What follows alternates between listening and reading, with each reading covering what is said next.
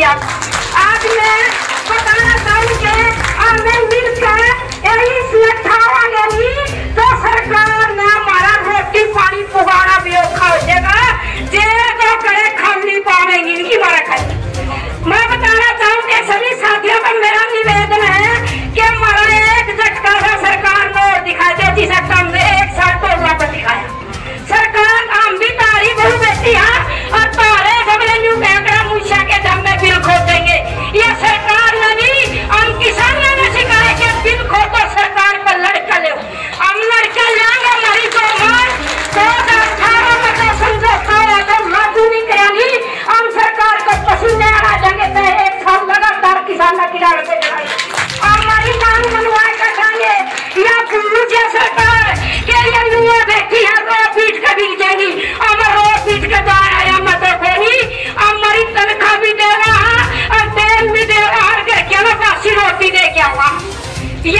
रोटी खान वाले देखो हमारे छोटे छोटे बच्चों ने सवेरे छोड़ के इतनी ठंड में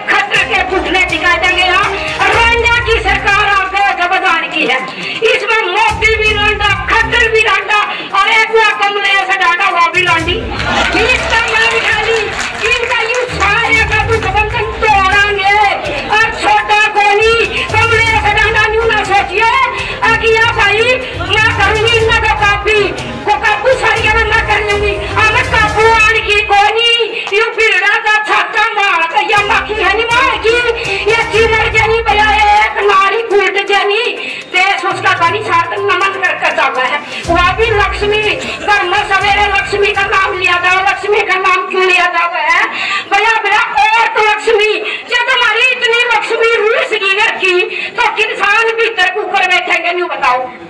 ये भी किसाना की बेटी है? और जो तो रोड़ा पर बैठी, और मैं सवेरे रोटी फाय के प्रबंध मान के जावा शाम तक का। और ये बताना चाहवा सरकार थी कितनी लंबी लड़ाई चली हो? सामने चंडीगढ़ बैठना हो, सामने संसद पर बैठना हो। लगातार डरते गरीब का गुजरे बाद क्या मगर उठा के सरकार का पसंद देना है। और भी किसान की बेटी हाँ? धन्यवाद सभी साथियों का। मेरी बात सुनी और हमारा तय दिल था मैं इनका स्वागत करना चाहूँ और हमारा साथ दियो जी, हम अपील हमारी 2018 में सरकार के साथ समझौता हुआ था। उस उन्हीं मांगों को लेकर के हम आज चौवन दिन से आंगनबाड़ी वर्कर और हेल्पर हड़ताल पे हैं।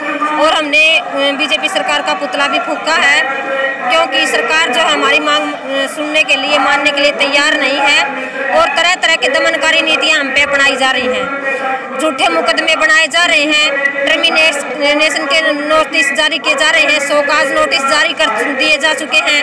और गुड़गांव में कल जो हमारी बहनों के साथ है जो पुलिस प्रशासन ने हाथापाई की लाठीचार्ज किया वो बहन को चोट भी आई है।